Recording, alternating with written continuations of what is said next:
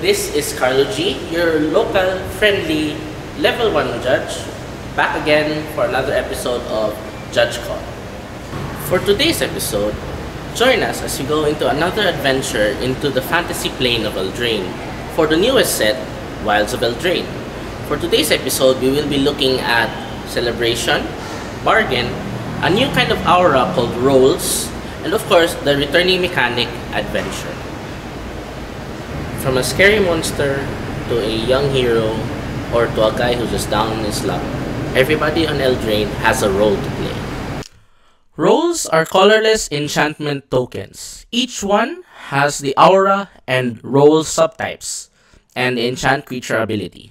If a permanent has more than one role attached to it controlled by the same player, each of those roles, except the one with the most recent timestamp, is put into its owner's graveyard. In other words, each creature you control should have only one role attached to it that you control.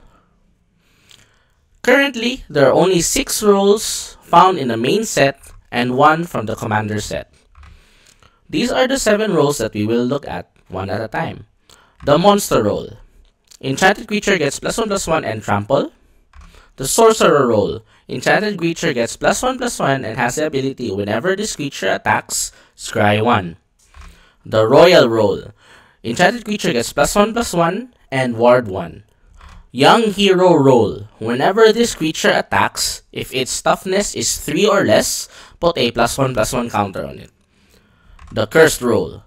Enchanted creature has base power and toughness 1-1. The wicked role. Enchanted creature gets plus 1 plus 1, and when this aura is put into a graveyard from the battlefield, each opponent loses 1 life. And for the virtuous role, only found in the commander set, enchanted creature gets plus 1 plus 1 for each enchantment you control. Even if Eldraine is battling the wicked slumber, it doesn't stop anybody from having a good time once in a while. Here is Celebration. Celebrate. Celebration is an ability word that rewards you whenever two or more non-land permanents enter the battlefield under your control in a single turn. Celebration cards work differently. Some may be static abilities, and some may be triggered abilities, as we can see with Ash for a triggered ability and Godric as a static ability. Some celebration abilities trigger in specific parts of the turn. They will check how many permanents enter the battlefield on that point. Celebration only cares if two or more non-land permanents entered in a turn. It is either yes or no. There won't be any additional value if more permanents enter the field during a turn. There are many deals to be dealt on Eldraine. Spells and creatures become stronger once you strike a bargain. Bargain. Bargain is a static ability that functions while the spell with Bargain is on the stack. Bargain means, as you cast this spell, you may sacrifice an artifact, enchantment, or token. Bargain presents an optional additional cost. A spell cast with additional cost is considered bargained. You may only sacrifice one artifact, enchantment, or token to pay for a spell's bargain cost. If you copy a bargain spell, the copy will also be bargained. Tired of just sitting all day in a tavern drinking the days away? Pack your bags and prepare for an adventure. The returning mechanic for Wilds of Eldraine.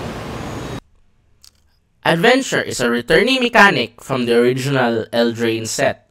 Adventure cards are permanent cards with adventure spells built into the left of their text box. When casting, you can choose to cast the permanent side or the adventure side. When you cast the adventure side, it goes into exile as part of the resolution. You can then cast the permanent side later. An adventure card is a permanent card in every zone except the stack. When casting an adventure card, all of the spell's characteristics are the characteristics of that spell. If the adventure is countered or fizzles, place it into the graveyard. Interesting interaction of note.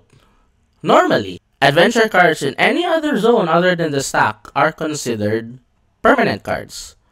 But Lier checks the card type of the card when they are cast not while it's on the graveyard. So Lier sees all of the adventure spells.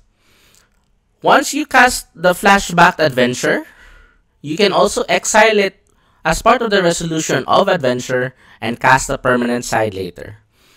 This only works with continuous effects such as Kess Dissident Mage and Melek Izzet Paragon. The relevant ruling is CR 601.3. So those are the mechanics for Wilds of Eldraine. I hope you learned something and if you have any rules questions or any interactions at all, put them down in the comment section below.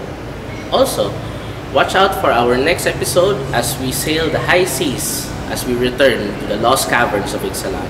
This has been your level 1 judge, Carlo G, saying bye. Bye!